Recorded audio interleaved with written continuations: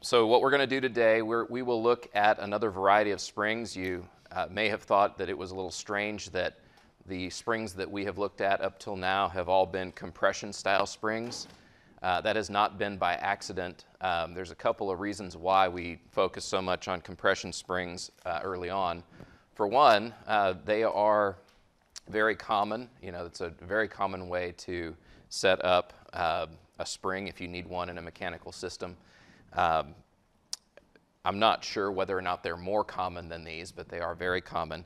And we needed to do a few tasks that um, you know, can be applied to a lot of different kinds of springs. Um, you know, the idea of optimization of certain parameters, it's going to have a very similar look and feel regardless of if you do it for a compression spring or another kind of spring. So we sort, sort of chose one so that that wasn't one of the confusing factors for doing all of those tasks. But I do want to spend a little bit of time today talking about a couple of other different kinds of springs that are commonly used. Uh, one of these types is called a, an extension spring.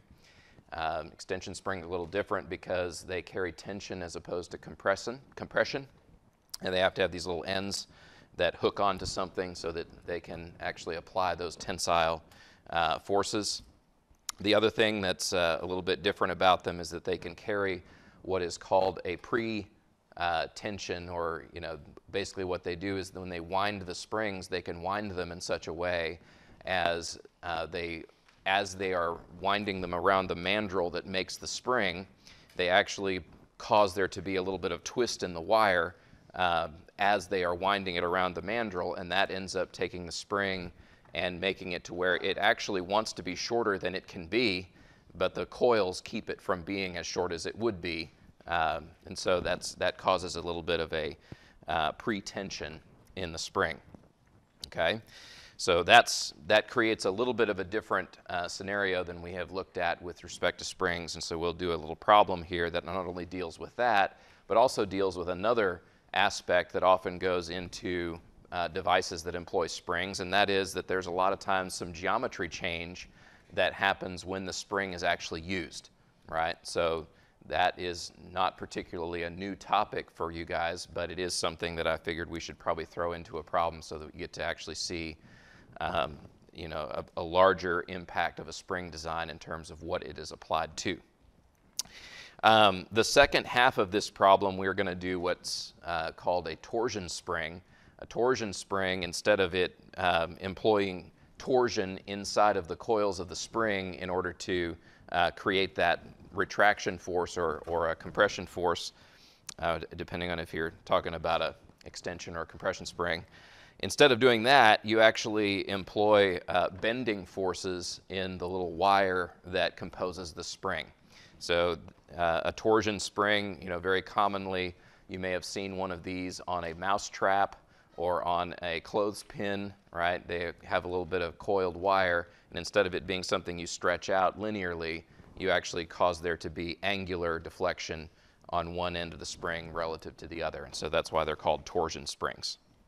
Okay, so we're going to look at this problem um, where we try to find angular deflection of the member uh, CD in both cases under 70 pound loads. In the first case, we're going to do it where we have a uh, extension spring employed as is shown on the figure here and you know with the parameters that are given here, the wire diameter, spring index, number of body coils, etc. Okay. And for the second one, we'll do it for the parameters that are given for a torsion spring that would be applied at joint D. All right. So that's what we've got on tap for the day. So my question is, where shall we begin?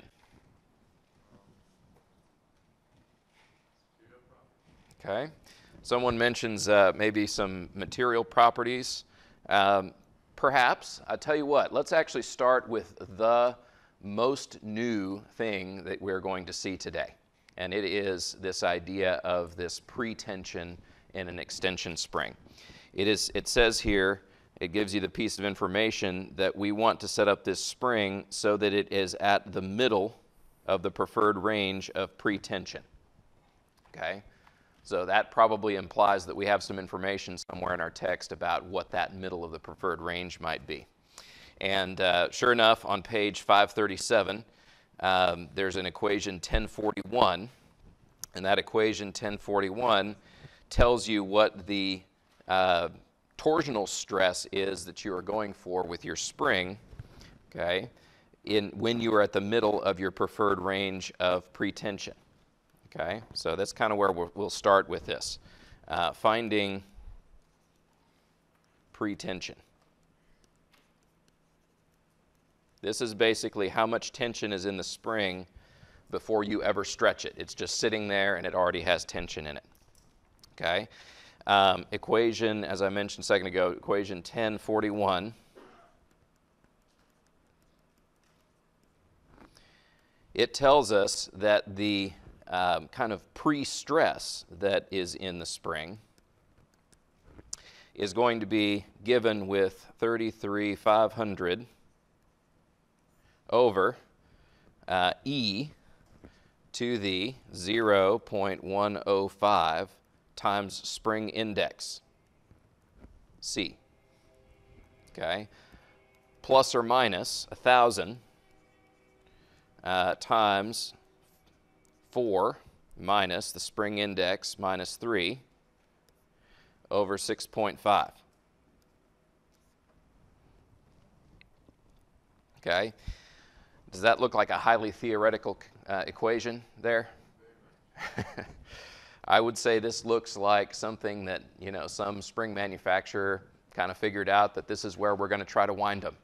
And they set up this equation. So there are some things that might be a little bit arbitrary there, but it does give you an idea uh, as to how these springs, how they tend to try to wind them. Okay? So my first question here is this. If we're going to try to um, make this spring be at the middle of the range of pretension, what do you think we should do? Okay? We probably don't need to worry about this plus or minus term. Okay? It's going to be at the middle of the range. Okay? So that, that helps just a little bit. Um, and so what we're going to do here is plug in our information. Say we have 33,500 over E to the 0.105 times our spring index was 5.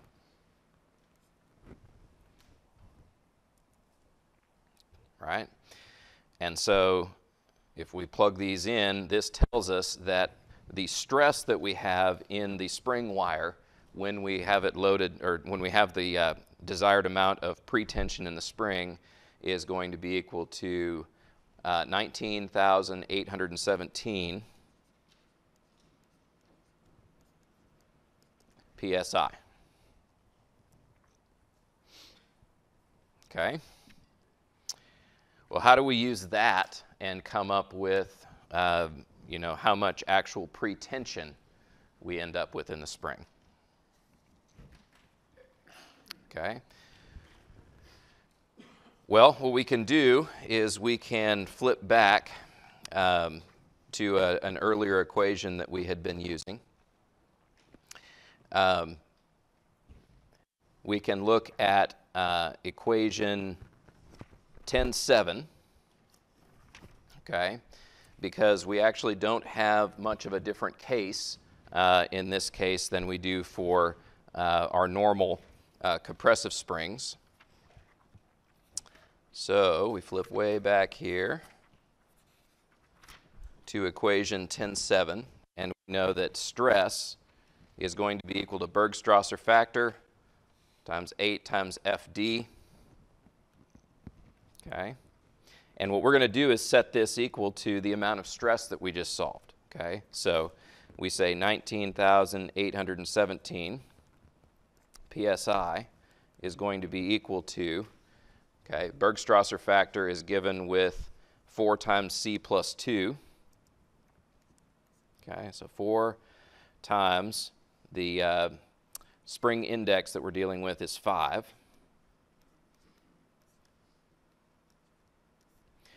Over 4 times 5, which is the spring index again, minus 3.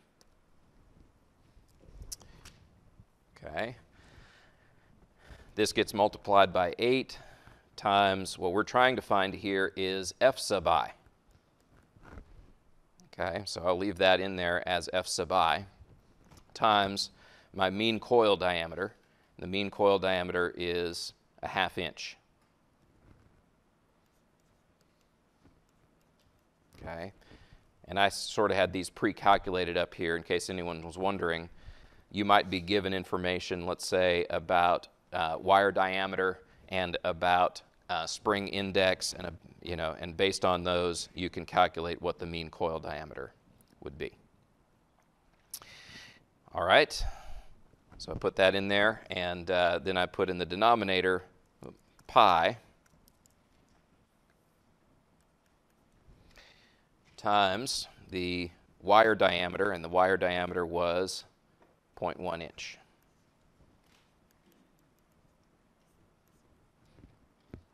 Okay, and that would be cubed. All right, so this is a uh, one equation, uh, one unknown we can solve for f sub i.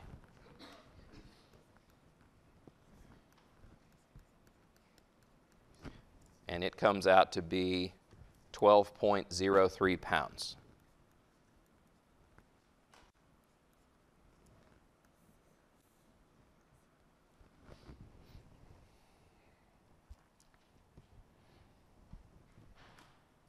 Okay.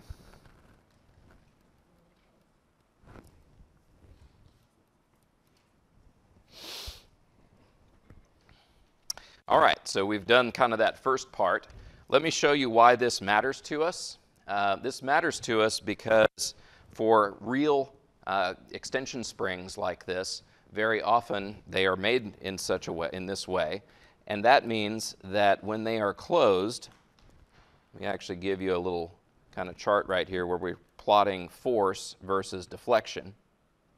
Okay. For real springs that are wound this way, they, they don't kind of have the shape that you might remember uh, there being for the curve between force and deflection. What they have instead is that they have some initial force that's in them, and then uh, from there they have a spring constant that comes up at some kind of a uh, slope. Okay, so that spring constant can still be found like we have found in the past. You know, it's still going to be uh, the slope of this thing, right? Because spring constant K is equal to um, what? Okay, force over deflection, right? So that part still works. It's just that it comes in here, and now we start out at a force of F sub i.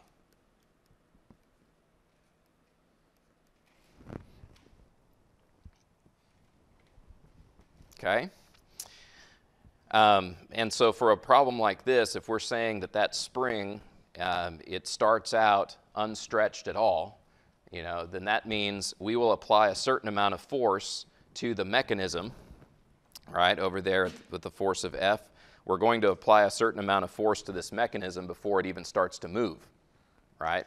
Because um, we have to get up to this, uh, you know, 12.03 pounds in the spring before it even starts to stretch a little bit. Okay, so this is a, a factor for some things. And I bet if you kind of remember back to mechanisms that might employ extension springs, you can probably remember there being some sort of a, a feel like this to those mechanisms, right? You got to push a little bit uh, and it seems like it might be kind of hard even that you have to push before there's even any deflection at all. But then once it starts to deflect, it will uh, you know, deform linearly from there. All right, so that's kind of the first part. Where do we go from there, do you think?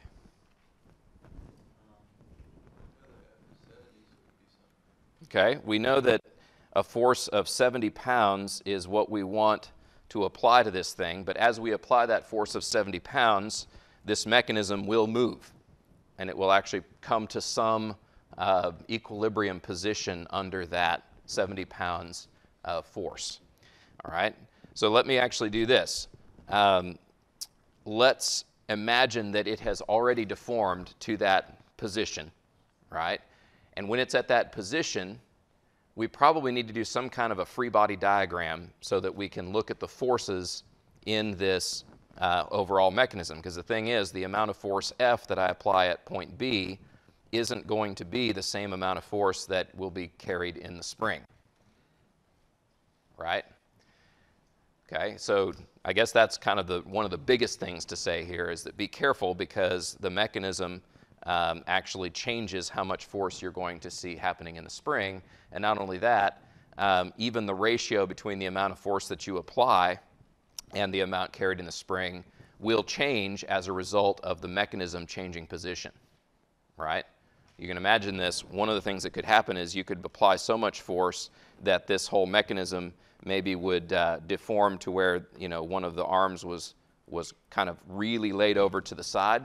Well, once that starts happening, then most of force F is probably going to be carried in you know either member AB or in member CD, right? Especially if that if that angle gets really really you know far uh, you know kind of kind of flopped over there. All right, so what kind of a free body diagram would you like to do? Because that's what we said we needed to do is a free body diagram to do the force analysis.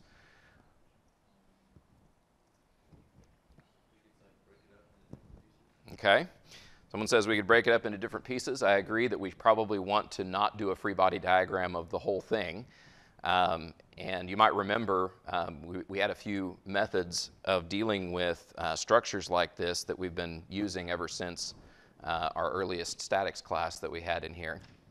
Um, so what you would do back then, you know, if, you, if this is a truss, and actually that's a comment I probably need to make, is that this structure that we have here is a truss. If you look at any one of the members that composes this structure, they are all two force members. And that means that this is a, uh, truss that we have here. It just so happens that one of the members is elastic. All right, so you have trusses. What are some of the methods that we have we can use with trusses?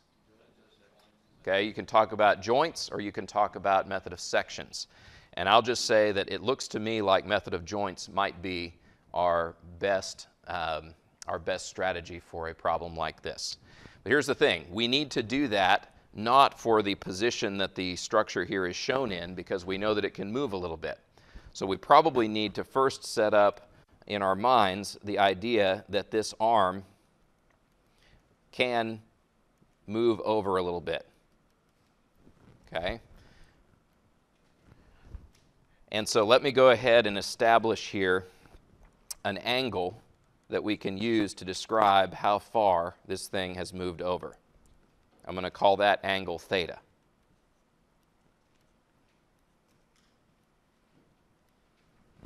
So this is basically how far has it deflected angularly relative to vertical.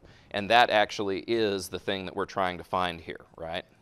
This angular deflection that I asked for in the problem statement, that is um, the angular deflection that we're trying to solve for. All right, so let's do this. Let's take joint C, all right, joint C right here, and let's imagine doing a uh, free body diagram of joint C. Okay? So I'm going to put that up here. FBD of joint C.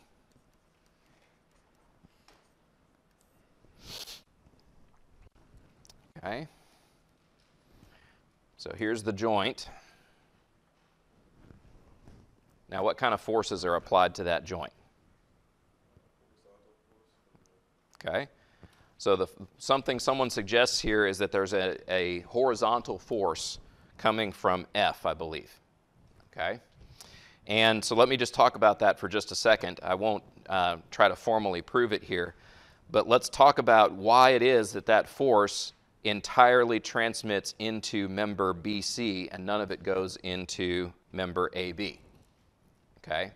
We have to do that based on mentally kind of thinking what a free body diagram of joint B would look like, okay? Free body diagram of, of B uh, would have forces, since member BC is a two-force member, it would have force F and force in BC would both be horizontal, and the only other force that we could have here would be coming from member AB, uh, which is also a two-force member, And if it had any force in it at all, there wouldn't be anything to react against it because it has a vertical component, right? So we only have one force that has a vertical component, and therefore, because it's going to go to an equilibrium position, um, you know, and that means the sum of forces has to be zero, it means that force in member AB has to be zero. Okay? It's kind of the same process that you used back when you were doing this in, uh, in your first statics course where we were finding zero force members. Same logic applies to this based on joint B. Okay? So that means this force F entirely transmits into uh, member BC, and so I can go ahead and put that directly on this joint. And that's actually a known value, right? What is that value? 70 pounds. All right, so far so good. We got one force on there. Now what? All right, we've got the force in the spring. And the force in the spring, it comes back along a line that kind of goes toward point A. And let me just call this F sub spring for right now. Okay. Do I know how much force is in that spring? Not yet. Okay, so I'm just going to leave it there with that variable. Do I know what direction it goes? Okay. I don't quite, right? Because what I have here is that I've, by this uh, arm having moved over a little bit, um, it basically makes a triangle that looks like this.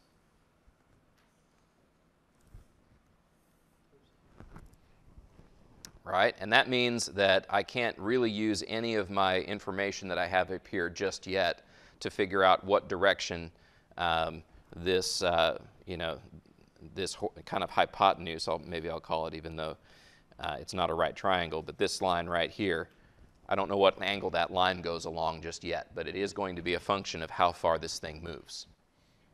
Okay?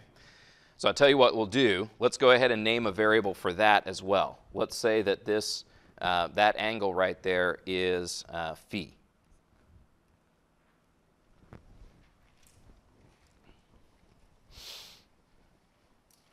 Okay.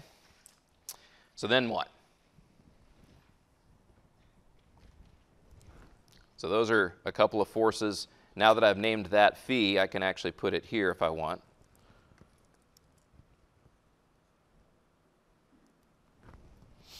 Okay.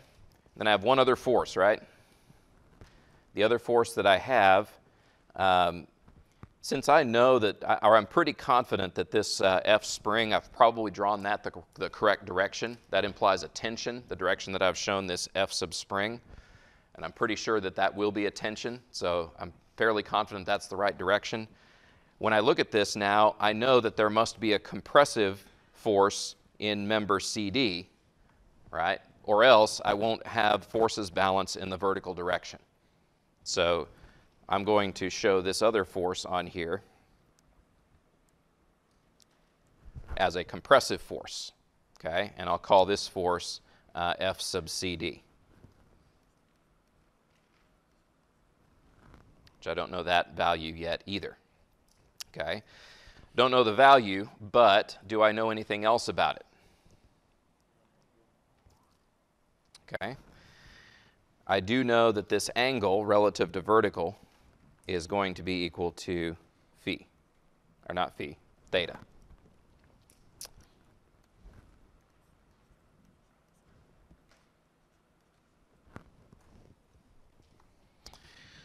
All right, well, this is kind of uh, a little bit messy right now because I, you know, how many equations can I write out of this free body diagram? What kind of a system is it? It's a concurrent force system, right? Which means that I only have sum of forces in x, sum of forces in y, since it's a 2D concurrent force system. All right, so I can go ahead and write them, but I have four unknowns. I have two equations with four unknowns right now. So let me go ahead and write them anyway. Okay. In the x direction, I have 70 pounds. Uh, minus F spring times the cosine of phi plus f sub cd times the sine of theta.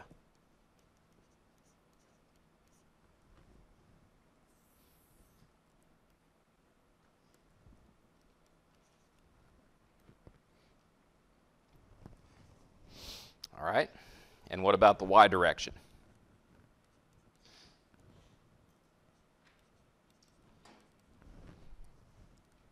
Okay, here I have minus f sub spring times the sine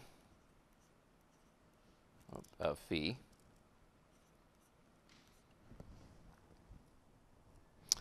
And then I have plus f sub cd times the cosine of theta.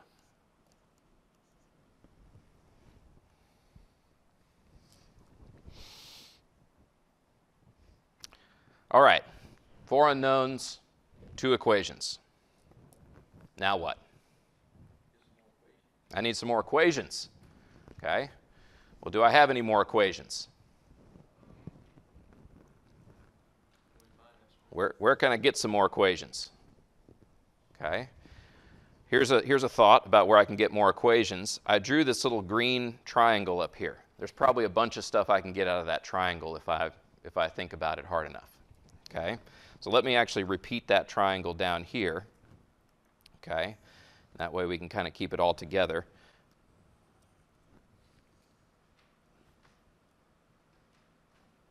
One of the things we said was that this angle right here was phi. We also know that this angle right here, okay, this angle right here is theta.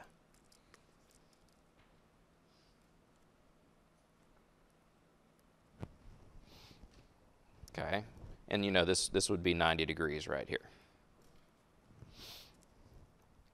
What else do we know about this triangle? Okay, we know a couple of lengths, right? What are some of the lengths that we know? Okay.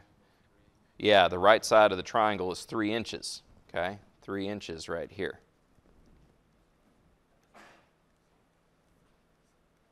What about this down here?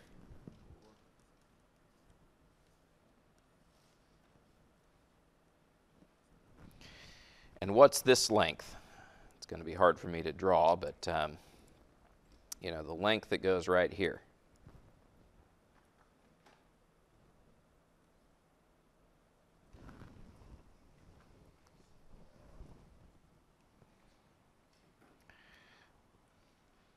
Let me ask you a question.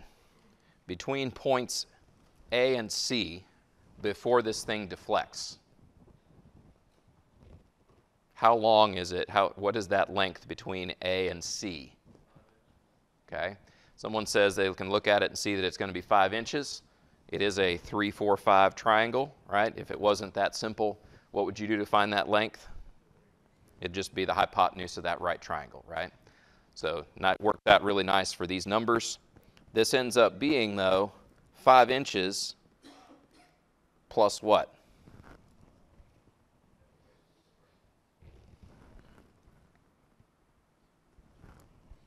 Five inches plus the deflection that happens for the spring. Okay? All right, so um, what can we do with this triangle?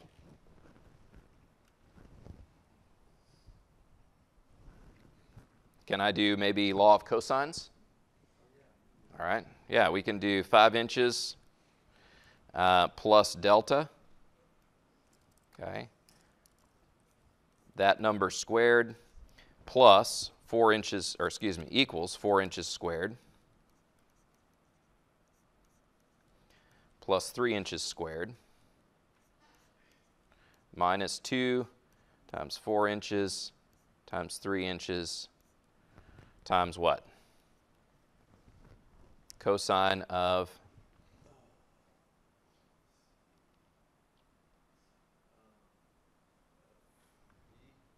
Okay.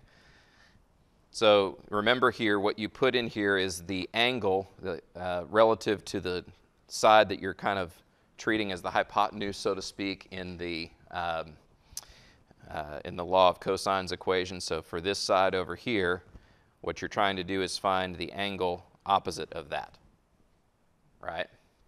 And so the angle opposite of that is 90 degrees plus theta.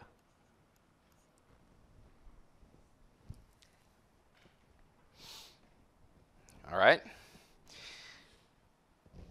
Well, does that help us at all? yeah, so we made another equation that happens to have one of our variables that we were using before, happens to have one variable in there, but we added another variable. Okay, well, is there another way we can, you know, bring some more information in here? Well, yes, there is, because we actually have an equation down here that can help us figure out what the spring constant, or excuse me, what the spring equation would be for this. Um, it is given in the book, even though it's something we could kind of figure out by looking. I'll give you the equation number anyway. Equation 1038 says that the force carried in the spring is going to be equal to your uh, pre-force, like the initial force in the spring, plus k times y is what they say there. This is equation uh, 1038. Okay. What they mean by y is actually delta, right? It's how much the uh, spring has stretched. Okay, so I'm going to replace that y there with delta. Okay, so cool. We actually can do that. We can say here the force in the spring is going to be equal to that initial force, 12.03 pounds, plus, and then here we put in our uh, spring constant. Uh-oh. Do we have that yet? Okay. So we, we need to take a moment and actually figure out what that spring constant is. Good thing that isn't actually very hard. What were my pieces of information for the spring? Okay, I knew index, but from that I could find coil diameter. I already had wire diameter. I have the number of coils. That is, should be all that we need to figure out what the uh, what the uh, spring constant is going to be. So I'm going to flip back to where we uh, have a uh, an expression for spring constant. Okay. Let's see, I'll find it here in just a moment. All right. Um, kind of the basic equation comes from uh, way back at the beginning, equation 10.9. Okay, let me do this down here. K is going to be equal to d to the fourth g over 8d cubed, oh, capital D, cubed n sub a. Okay, well there is a little bit of a tricky thing that happens here for extension springs, and that is we have to account for the end coils. The little hooks that are on the end actually are elastic, and so those contribute into what the effective number of active coils is for the spring. Okay, so that's going to be part of what we have to do here. Let's fill in the rest of it first. 0.1 uh, inch to the fourth. Where should I get G?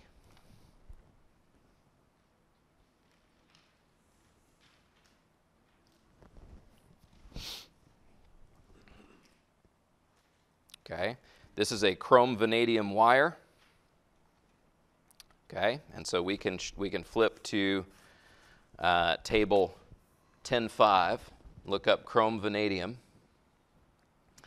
and um, it looks like the modulus of rigidity value for that will be 11.2 mpsi.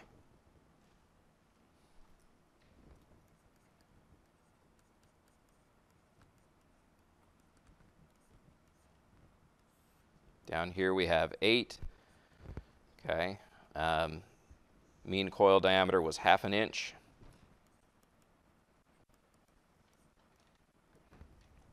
And now we need to deal with our number of active coils. So for that, let me actually point your attention to equation 1040. It's actually a pretty cool equation. Uh, it's interesting that it winds up being so simple. And uh, the, um, the proof of this is actually in one of the exercise problems that's in the book, and I won't spend time talking about that a whole lot. But all it ends up being is just the number of body coils, which we said we had 18 body coils for this spring, plus the modulus of rigidity over the modulus of elasticity. Okay, this is if the spring basically has the same diameter as the rest of the spring coils, uh, but now is shaped up like a hook.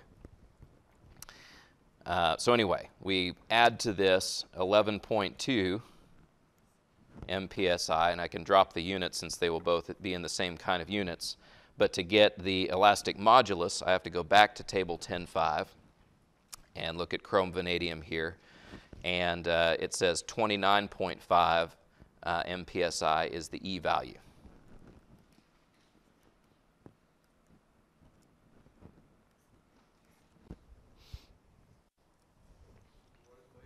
Okay, so that little piece I did right there, that comes from equation 1040.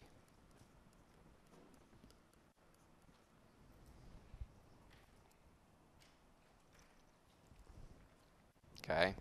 And I'll just write it off to the side. NA is equal to NB plus G over E.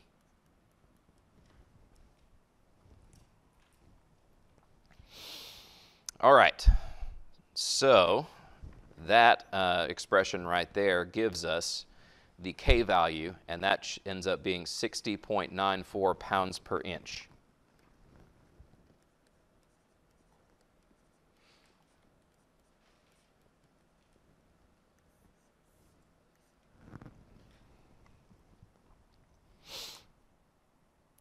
okay? Which is handy because now we can take that value and plug it in to the k value I have right here, which goes right up here, 60.94 pounds per inch. Okay, times what?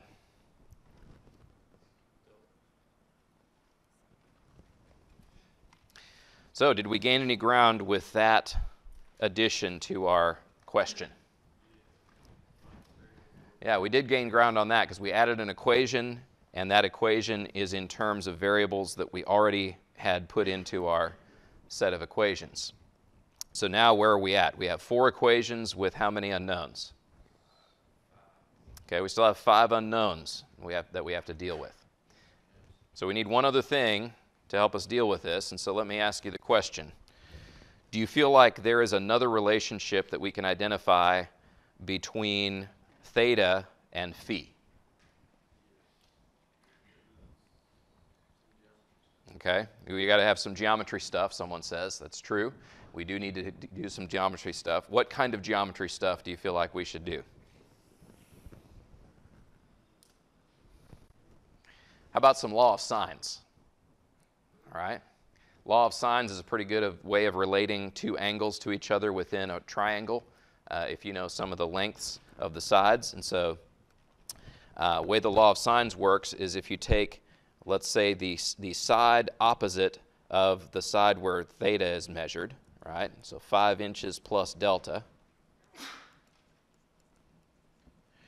And you divide that by the sine of the angle in opposite of that, which um, is going to be 90 degrees plus theta.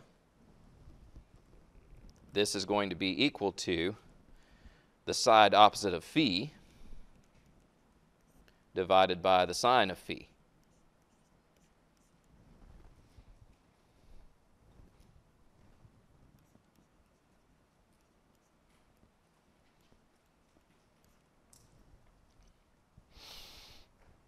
All right. Now we have five equations, five unknowns. Which is good. It is um, maybe not as good as we could have liked. Okay, one of the reasons for that is that last equation that we put in there turns this system into a nonlinear system. Actually, I guess the uh, law of cosines equation did that too. Okay, so this isn't the kind of 5 by 5 system that you can solve with a linear solver, but if you have a solver that can handle nonlinear systems of equations, um, then that helps you out, and that's something that a program like MathCAD can do. So instead of spending time entering this all into MathCAD, let me show you what that might look like.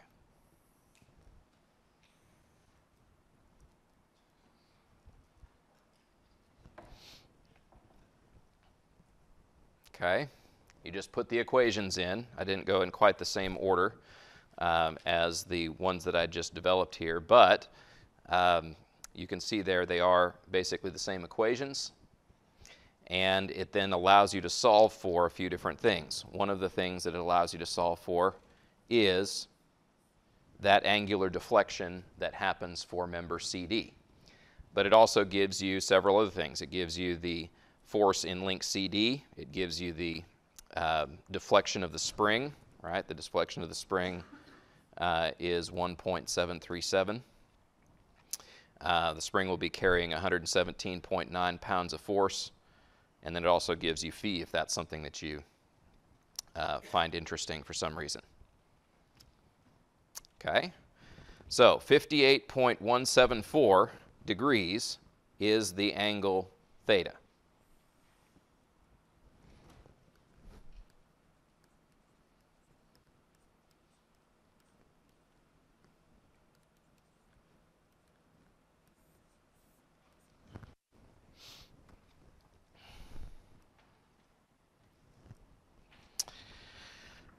All right.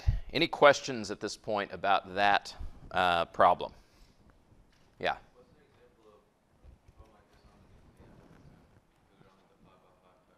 Okay.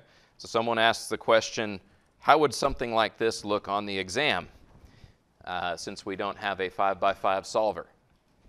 Okay. So let me, uh, let me flip the question back around and say, what do you think I might do? Okay. Do you feel like there might be a way to simplify the same type of logic to the point where the tools that you have at your disposal could solve any kind of a system that came out of it? Okay.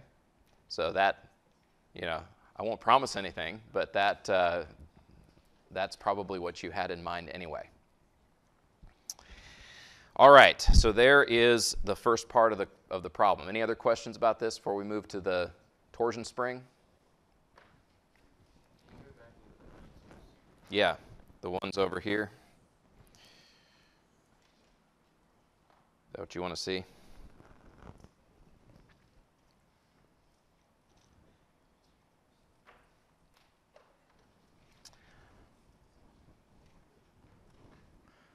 Anything else while we're uh, looking at the answers?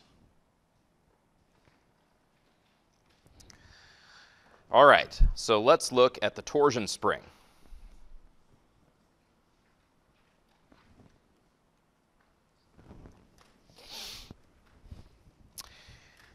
Okay, we're supposed to find the angular deflections, basically the same question, of member CD under a force of 70 pounds, assuming the tension spring is replaced with a torsion spring, where uh, we know the mean coil diameter of the torsion spring, the wire diameter of the torsion spring, and the number of turns that we have for the torsion spring. That's basically how many times does it coil around to where it goes back to where it belongs. So that's basically, or where it, where it ends up.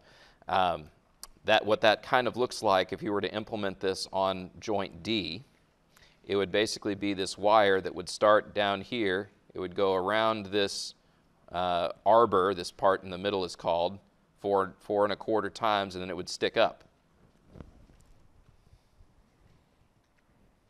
Okay, It's hard to see it from that angle because you wouldn't be able to see all the coils, but that's basically what it does. It comes around, goes around this little, the arbor, that word is basically like a little peg that the uh, coil goes around. Okay? So what do we do with this? Well, we open pray a section in the book that kind of talks about this because that would help us out a lot. Um, turns out it does have a little section that talks about this. Um, it does give a little bit of guidance here. It says use an equation that accounts for the friction between the coils and the arbor. That's the first thing that's kind of interesting here is that um, they work on this problem of figuring out what would the spring constant be for a torsion spring. And they come up with, uh, you know, equation 1050 that says that equation would be wire diameter to the fourth times elastic modulus over 10.2 times d times the number of active coils, d being the uh, uh, mean coil diameter. Then it says tests show that the effect of friction between the coils and the arbor is such that the constant 10.2 should actually be increased to 10.8. All right, so that's just one of those things that, you know, evidently um, testing doesn't actually bear out what the theory would have said. All right, so we're going to use that one where uh, it accounts for the friction, or at least uh, as they cite it here, between the friction and the and uh, friction between the coils and the arbor. Um, personally, if there is friction, I'm not sure that's how it would show up in equations, but you know, I didn't write the book, so um, we'll go ahead and, and take them at their word. Here's what I want to show you, though. Uh, we're going to here find the spring constant. Of this uh, torsion spring. It does this uh, using a variable that they use called k prime. Okay, k prime is equal to, according to equation 1051, k prime is going to be equal to the wire diameter to the fourth times the elastic modulus over 10.8 times the mean coil diameter d times n sub a.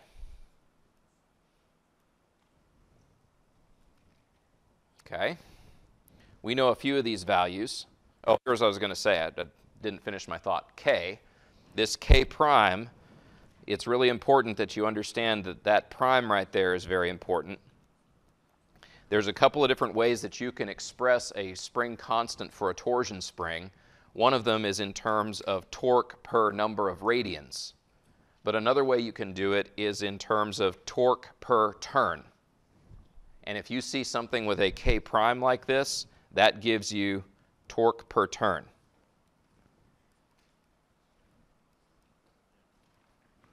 Okay, or in other words, torque per revolution, right? If you revolve it a complete revolution, this equation gives you um, that ratio of torque to number of revolutions. Okay, that was the thought I, I didn't quite finish a second ago. The one I was about to start was the idea that, again, we need to deal with the ends of the spring, okay? Because the ends of the spring work a little bit differently than the coils of the spring. And so N sub A, we don't use just 4.25 turns for N sub A. We need to also deal with the fact that we have these little, um, you know, kind of these little uh, arms that stick out from there. Okay? So I'll say that that's how it works uh, in the general case. One of the things that you can do to minimize that effect is to make the arms that stick out a little bit shorter right? If you make them short enough, then you can start ignoring the effect of that.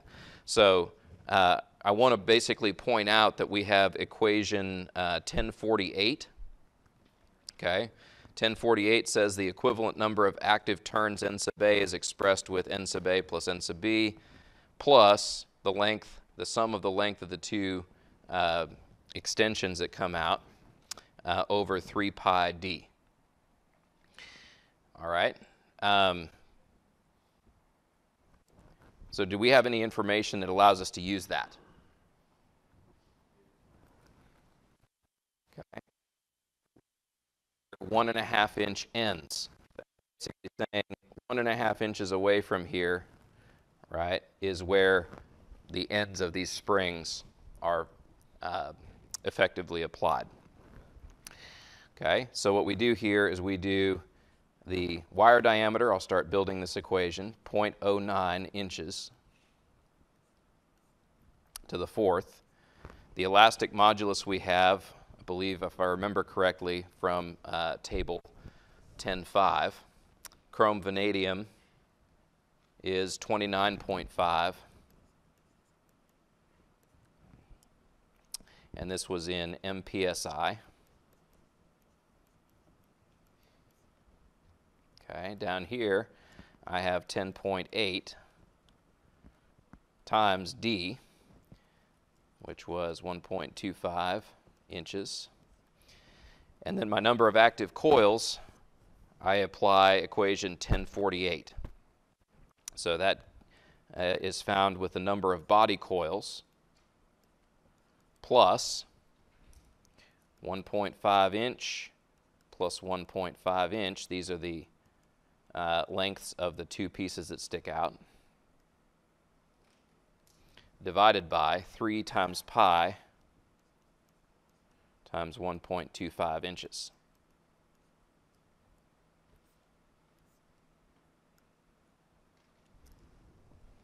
Okay, and let me put a note on here. What I did right in there is based on equation 1048.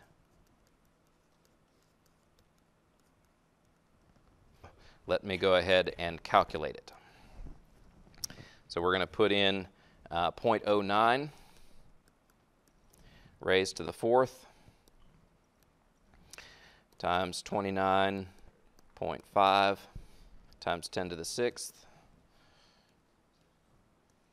divided by 10.8 times 1.25 times 4.25 plus 1.5 times 2 over 3 times pi times 1.25.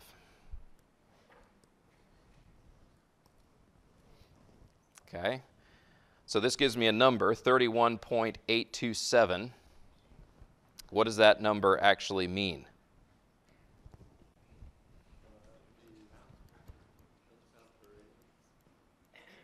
Okay. So this is, again, torque per turn. What do you think the torque is that, uh, that pops out of here? Okay, inch pounds per turn. Okay, and that would be the spring constant for the torsion spring. How do I use that?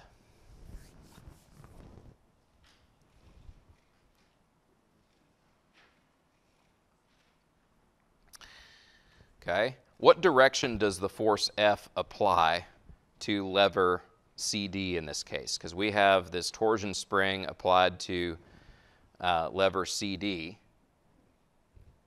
Force F is always going to be transmitted through member BC. So what direction is the force going to get applied to that lever? Okay, yeah, but it's, it, it's going to be horizontal, right? Even as the lever starts to move. It will continue to be horizontal, right?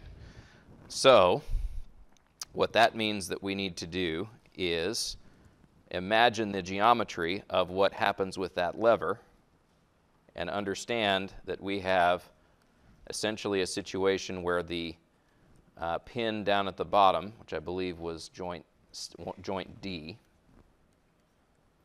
okay, we have some reactions there, FDY and FDX. Okay. But then we also have this torque coming from the spring.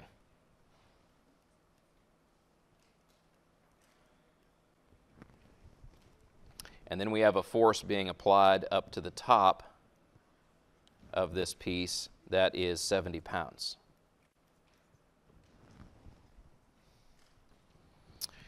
The length of the lever remains at 3 inches.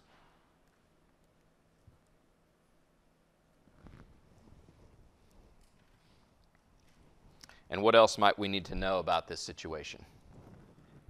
Okay. We probably should put in an angle, okay, the angle of theta.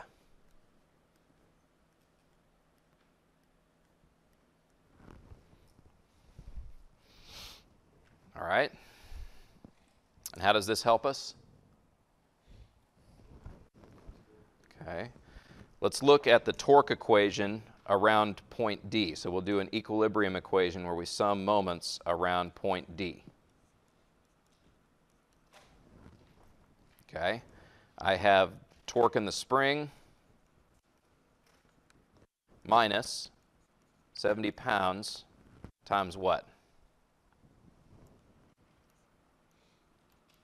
3 inches, but I don't want the entire 3 inches, right? I only want the height that goes from here up to here.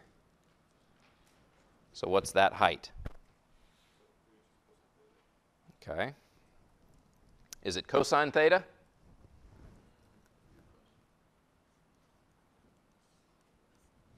Okay. Why is it cosine theta? Okay.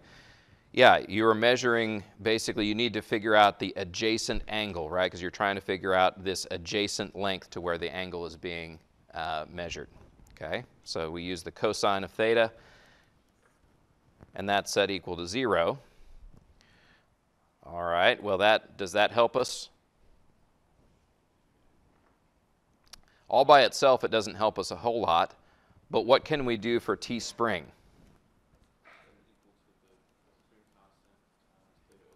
Okay, yeah, T spring is going to be equal to K prime times the number of turns. What's the number of turns? Theta divided by 360.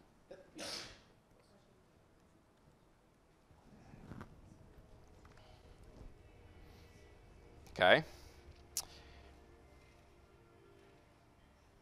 Again, I always doubt myself on these as I kind of do a, a, a double. So if theta is in degrees, then we need to turn this into, yeah, that seems right. Yes. All right, so what should we do now? We should plug this in to our equation we had up there. So let's plug it in. We have 31.827 inch pounds per turn. Okay, multiplied by uh, theta over 360 degrees.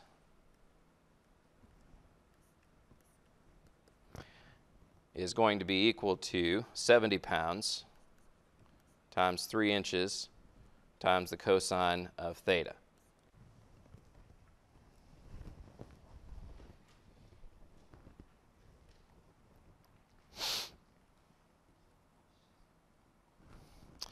All right, and if we punch this in, I think I do have the solution for this. This turns out to be 87.89 degrees.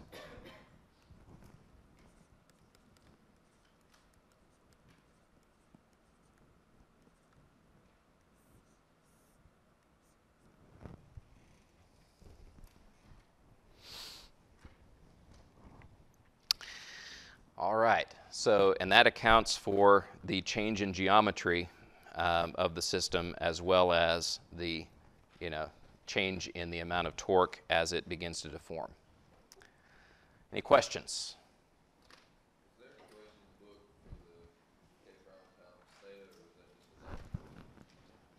This right here, you're talking about the uh, torque in the spring is equal to K times the uh, number of turns.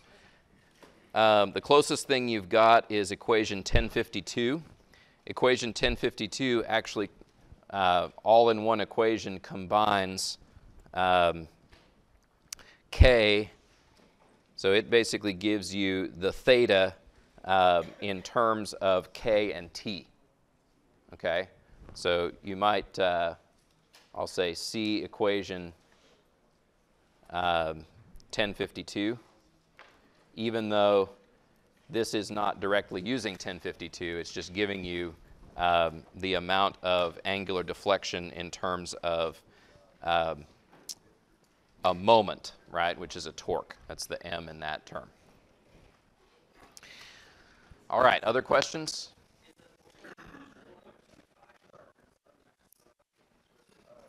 Four point five two turns is how the spring was built to begin with. It means the spring wire would was wrapped four and a quarter times, right? And the quarter is not insignificant, right? It needed to be uh, a four and one quarter because if I just did four, it would have been straight over, right? So four and a quarter brought it up to the position that I actually have it shown.